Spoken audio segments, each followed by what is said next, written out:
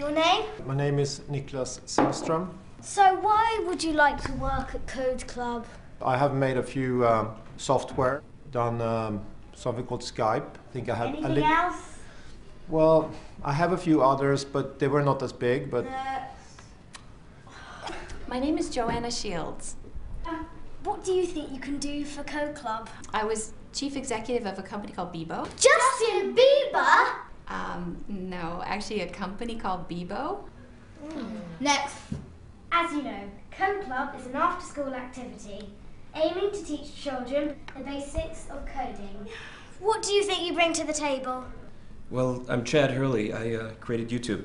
Oh, I know. Did you did you do that one where the baby bites the other baby's finger? No, I, d- I don't make videos. Next. Tessa Jowell.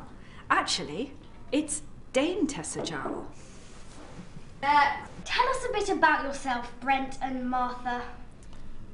We, we started lastminute.com. Next. Sit down.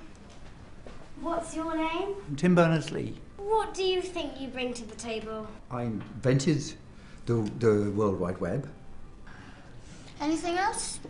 Anything else? Uh, Next. Um, we were hoping for Prince Harry to be honest with you, Mr. Windsor.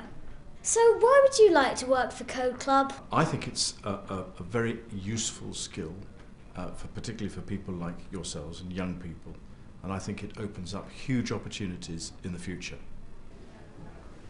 And I suppose I know some influential people. Like who? My mother, Your Highness!